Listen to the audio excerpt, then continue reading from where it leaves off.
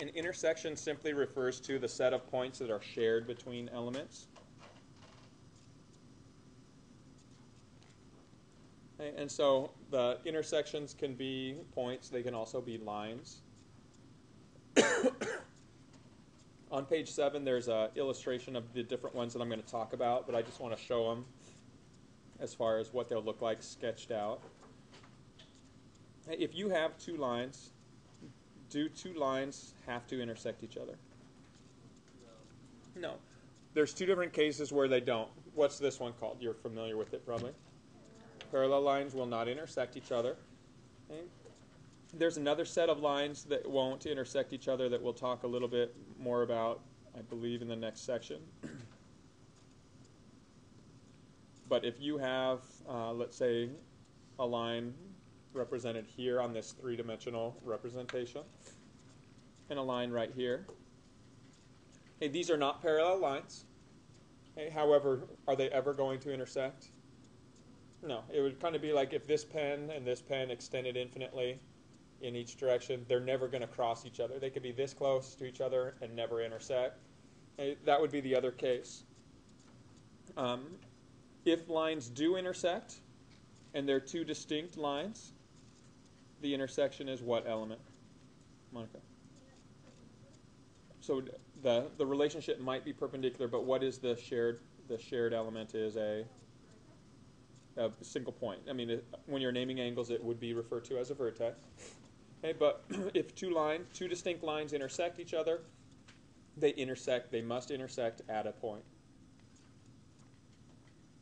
Okay, what if you have three lines intersecting?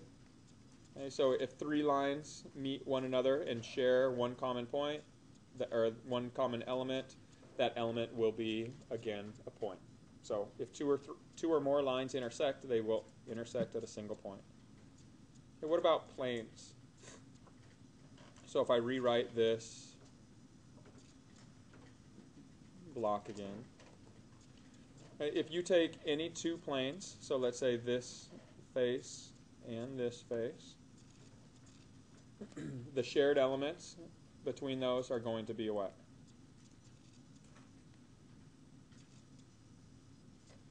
Where the intersection where those two planes meet would be a line. So two planes, if they intersect, will always intersect at a line. Okay, often you're going to see uh, planes represented, again, in three dimensions. So here's one plane, and then the side plane intersects this way. Can everybody see or imagine how that intersection occurs? So if planes intersect, they intersect at a line.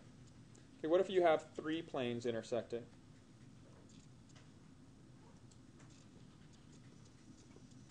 Okay, so again, if we took this top plane, this side plane, and let's say this front plane, and here's a case where do all three of these planes have any common elements? They share this single point, and that's it. Okay, so it's possible for three planes to intersect at a single point. it's also possible, however, for three planes to intersect in the following way. Okay, so here's one plane. Let's say we have another plane that kind of extends up here. So these are two planes intersecting at a line. Well, what if we put another plane through here? So let's say we have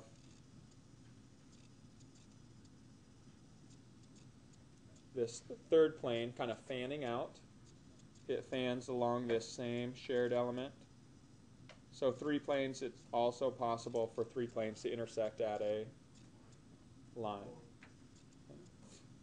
By this shape. It might look like this plane and this plane. Oops, this one in the far back only intersect at this one common point, right? Kind of looks like that. But keep in mind, this green is not really limited just to this triangular region. I mean, it's really, I mean, it extends infinitely in all directions. So where it looks like it just meets right here, it's actually going to pass through the brown plane at a single line as well. it would be kind of like saying if you took this and extended into this rectangular form, and then you did the same thing with this brown plane, the rectangular form. Here is the intersection. It's still a line. Okay, so two planes always intersect at a line. If they intersect, will intersect at a line. Three planes can either be intersecting at a single point or at a common line. The final relationship is if you have a plane and a line does not lie on that plane, but it intersects, it will intersect it at a single point. okay, so again, the chart there and it has illustrations of each uh, kind of show the different possibility of the way elements intersect. Be prepared for kind of uh, questions regarding those.